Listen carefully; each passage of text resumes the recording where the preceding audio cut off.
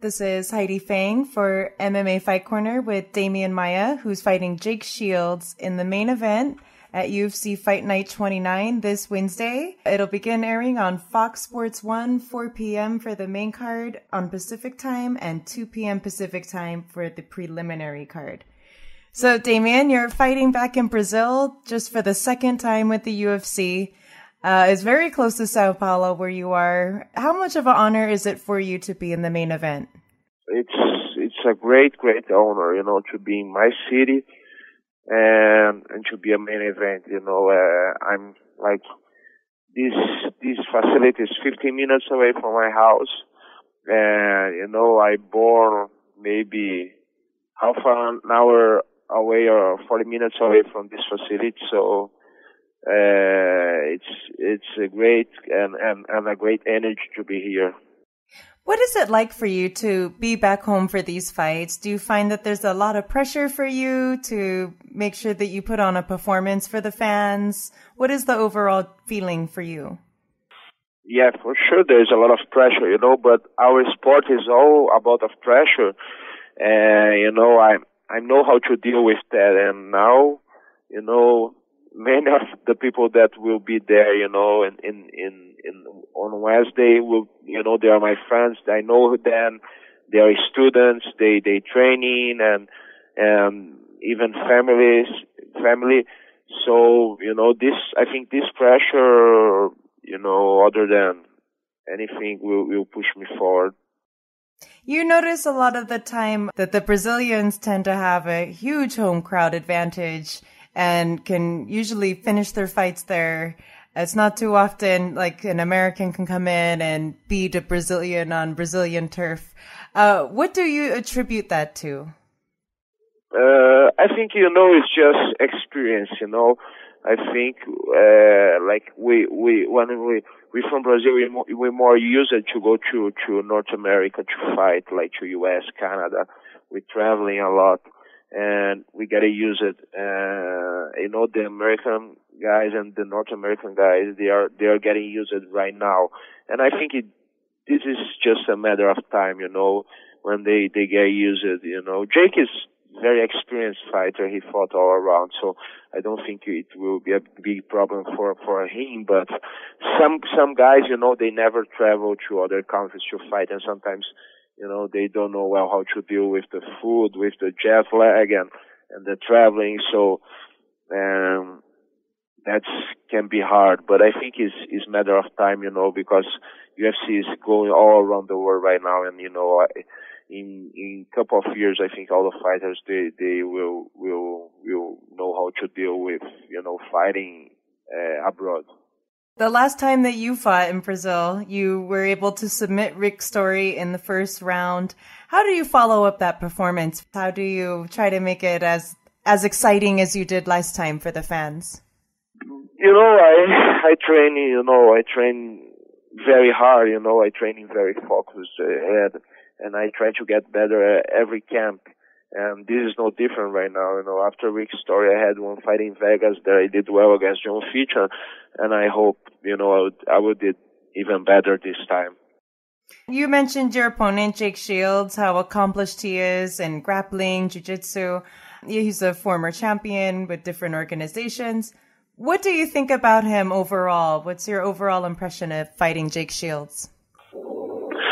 Uh, yeah, like you said, you know, he has many, many, you know, uh, uh, how, how can I say he's he's a former Strikeforce champion. He won tough, tough guys like, for example, the the former interim champion in the UFC, you know, Carlos Condit.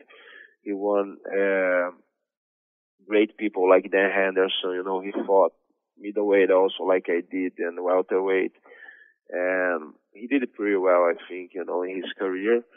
Uh, and I, you know, I, I think it's it's a very, very, very uh, big challenge for me to fight him.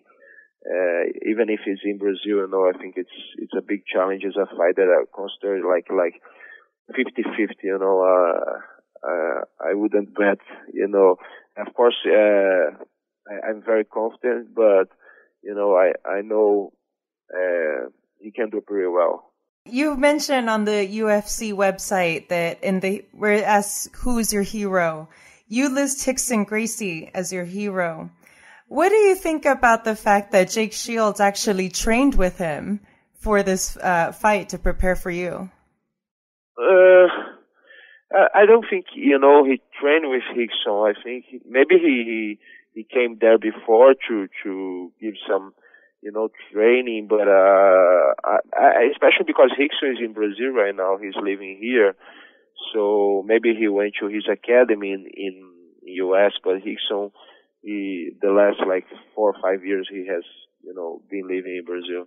Right, I had seen that on Twitter. He had put that uh, Rickson came down to the academy, so maybe he showed him some tips. Yeah, maybe he, he he lives in California. Maybe he was in his academy, you know, and and did some training there, and and maybe Rickson was there for a while. Do you have any thoughts about him working maybe with Jake or showing him anything with the jiu-jitsu before the fight? Uh, yeah, I have a lot of things in my mind, but you know, it's I I have all my strategy already done, but you know that that's I I can't say. Did you bring any uh, special sparring partners in for yourself for this fight? Special? Uh, like anybody to uh, specifically prepare for Jake. Uh, no, you know, I basically it's my the same team that I had for the last three fights, and you know it's it's working, and you know I keep the same team, and my manager Eduardo is taking care of everything. He's doing like he's being our head coach, you know, and and send you know all the the training camp and and to the the coaches, and we're doing pretty well. I think you know I'm gonna keep that.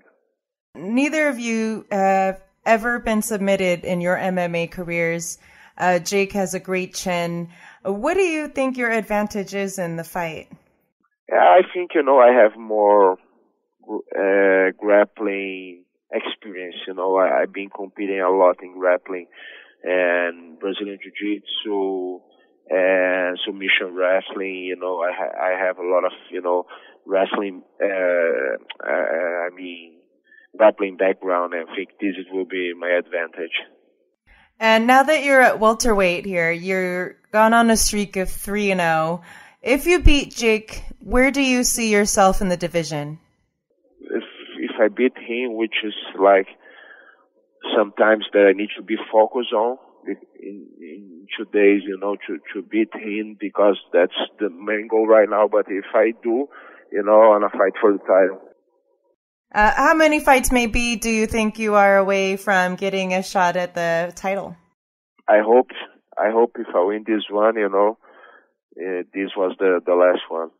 I have just one more question. I was reading an article uh, about Royce Gracie, and he was telling uh, MMA fighting, saying that he thought it was bad for his family to start training in other areas like boxing and wrestling um, because they were getting away from their Brazilian Jiu Jitsu roots and that they should continue always training with what they're good at. And maybe that's why they're losing fights lately.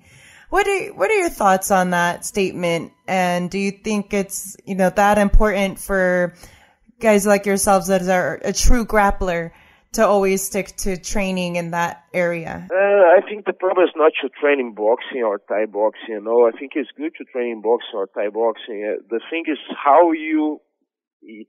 The problem is some people they wanna be like average fighter. For example, they're very good in jiu-jitsu and they wanna do. They wanna be very good in boxing and and very good in Thai boxing.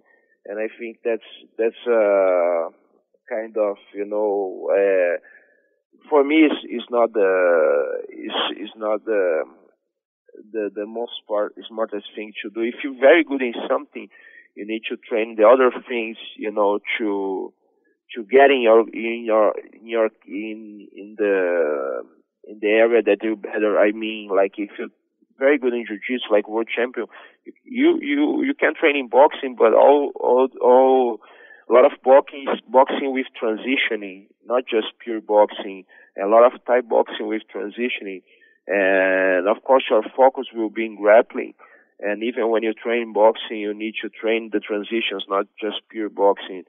And the the, the mistake I think what Royce wants what Royce means and is that people, you know, they go and and they're very good in, in jiu-jitsu, for example, and they go train just boxing, like pure boxing, pure Thai boxing, and they are not connection, you know. And if you, I, I train boxing, but all, all, also always, you know, when I train boxing, I do, I train with the connections nowadays. Like I try to, to shoot for the takedowns and clinch and, and it's, it's not boxing, but it's, it's a boxing for my jiu-jitsu. I think that's, you know, the smartest way to do. Excellent. Thank you very much again, Demian, for your time. Uh, we'll wish you all the best of luck here against Jake Shields at UFC Fight Night 29. And again, that's in the main event. Watch this on uh, Fox Sports 1 at 4 p.m. Thank you. Thank you very much. Hi. Thank you very much.